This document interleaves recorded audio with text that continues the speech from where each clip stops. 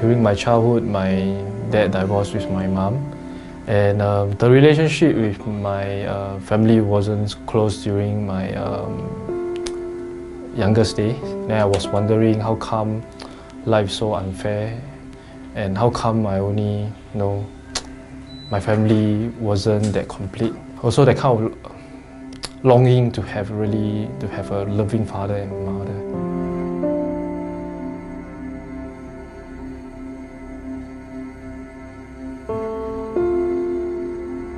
I joined gang when I was around Sec 2, like 14 years old.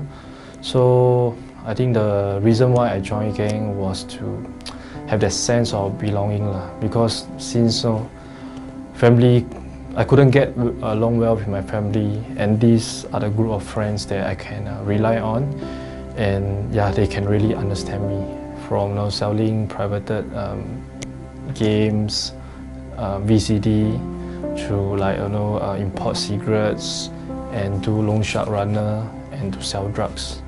My focus is to you know earn money, to be independent and not to rely on my family.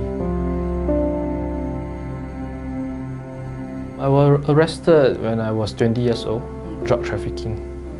So my sentence was uh, five and a half years imprisonment with uh, 10 stroke of canes.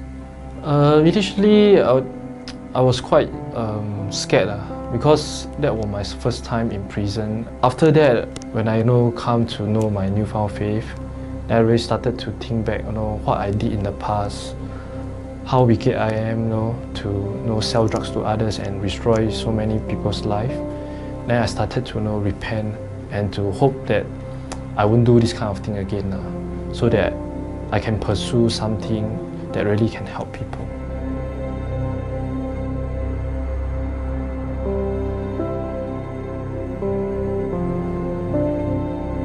In life, sometimes we will have um, challenges.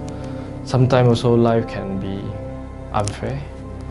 But I think the most important thing is to don't give up. I believe that everyone have the potential to, to shine. It's just a matter of time whether they find this potential in them. As long as they don't give up in life, definitely they can you know, be a blessing to the people.